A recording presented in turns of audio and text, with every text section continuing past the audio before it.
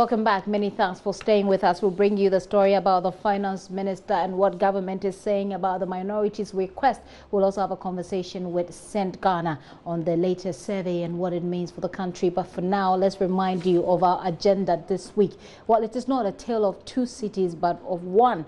Whilst the central business district of Wa has its road recently asphalted, the other suburbs have their roads riddled with potholes and dust. Drivers plying those routes say the bad nature of the road makes their vehicle to to get spoiled for for them to uh, repair with all that they make from their business. From that place, Joy News' Upper West region, regional correspondent Rafiq Salam reports that some residents are complaining of headaches and chest pains. Coming into the heart of the central business district of the Wa municipality, driving or walking on the few kilometers of the asphalted roads, you may have a feeling that residents in the municipality have no worries about their roads. But that is not exactly the case as you move out of the central business district. This is the road linking the Wa municipality to the Nadolo Keleu, Daffiama Bussie Issa, Sissala West, Sissala East, and the Wa East districts. It is the road that leads to the industrial area, or better known as the Wa Magazine. It was constructed and paved with bituminous surface over 20 years ago. However, today it is replete with potholes.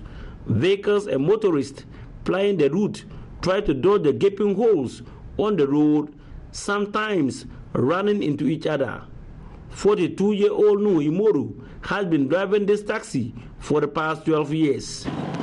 It spoiled my car. Today, about two weeks today, I came to have my this my shock absorber because of the place no good. I entered there and my shock absorber break. So I don't know how I will repair it. So I go borrow it for the fitters, the magazine fitters. They come and tow it for me for the road, the place, how the place gets this. The government is have to help us for the road. We are suffering for that about almost 80 years today, and the road is still like that. A similar story can be said of some of the roads at Wakwaguri. Apart from the several potholes, one could describe as manholes, residents of this suburb on daily basis also inhale dust from the vehicles passing. Faustina Awana is a mother of five and owns this professional shop. Through the dust inhaled by the passing of the vehicles, she has now developed headache and chest pains. My only worry here is the dust. All my clothes becomes dirty because of the dust. If a person comes to buy anything, I cannot give it out without cleaning it. I am always sick by inhaling the dust. If I blow my nose and you see the dust that will come out from my nostrils, you will be surprised. My house is full of dust. As a result of that, I always have chest pains. Wa municipal chief executive, Alhaji Isaku Tahir Mumin, says government has plans of fixing the stretch of Porto Riddle Road. I brought them to the notice of the authorities in the municipality. I mean, the authorities in charge of uh, maintenance and working on roads. And uh, I think it was listened to. So later on, um, we, those roads were advertised. I mean, the contract was advertised and people bidded for it. And the bids were open here and evaluation is in process. And I think by now, by now, and hopefully it wouldn't be long. I'm sure a contract will be awarded because um, looking at the quantum of money involved, it is outside the threshold of this municipality and probably even the uh, the region. So it's being handled uh, by national because uh, the national will have to give a concurrent approval of uh, that contract. And I'm sure if that is done and the approval is given, um, what is what is budgeted for resealing can take care of, I mean, the potholes within the municipality. And then also we will be able to also work on part of the roads that are yet to be tarred. Moving out of the heart of the municipality, the situation is worse, as you can see clearly, as there are broken culverts all over. In areas like Nakore, the culverts on the road has been broken for over a year, leading to several accidents. 23-year-old Sani Mumuni has a welding and fabrication shop some few meters away from the broken culvert. There are times that he has to run away to avoid being hit by a vehicle or a motorist. He has lost count of the number of accidents which have occurred here.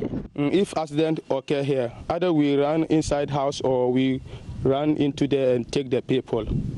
Uh, because the accident cause here is not good at all. You know, see one of the Kodoroko block has removed. It's when they some car come and hit it and lie down here. You know, see the Kodoroko dump. Uh, it's not good. Making some accident here. Every day we are seeing so, so many accidents here every day. Drivers and passengers plying the route from Wa to the Wa West district are equally unhappy about the state of the roads. Osman Lukman drives this urban bus on daily basis to the Wa district capital, Wechiau. He says he has never traveled to Wechiau and back to Wa without visiting the fitting shop for repairs work. Oh, I cannot describe how bad the road is. Right now, I am on my way to the magazine to repair the vehicle. I nearly ran into the broken culvert when you were stopping me. Government should work on the road for us.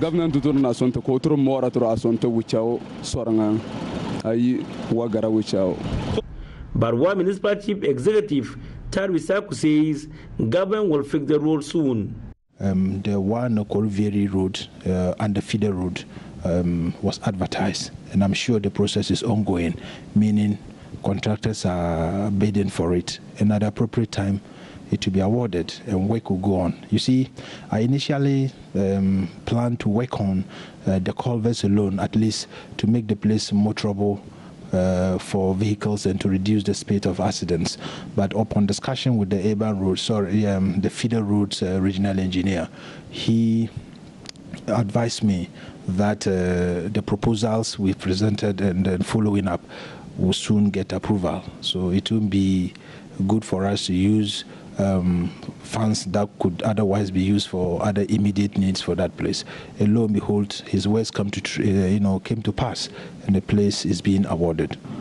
The people of the Wa municipality are waiting with bated breath for a promise of the Wa MCE and the government to give a facelift to the roads in their communities in order to make their life better. Reporting for Joy News, Rafiq Salam. Wa. Rafiq Salam there doing his thing.